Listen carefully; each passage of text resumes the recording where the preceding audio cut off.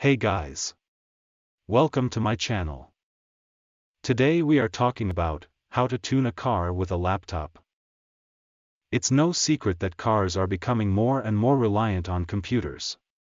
In fact, modern cars are now so computerized that it's possible to tune them using a laptop. If you're looking to improve the performance of your car, here are 10 tips and tricks for tuning it with a laptop. Number 1. OBDI Reader.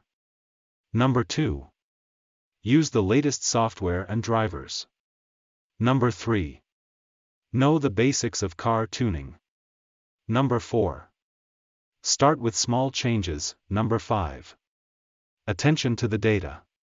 Number 6. Look car's engine. Number 7. Exhaust system. Number 8. Cold air intakes. Number 9. High flow air filter. 10. Be careful. I hope you guys found this information helpful.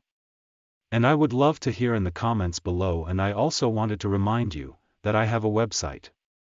You can visit for more information, and please subscribe my channel. Alright, if you enjoyed this video, don't forget to give it a thumbs up, hit that subscribe button, and thanks for the watching.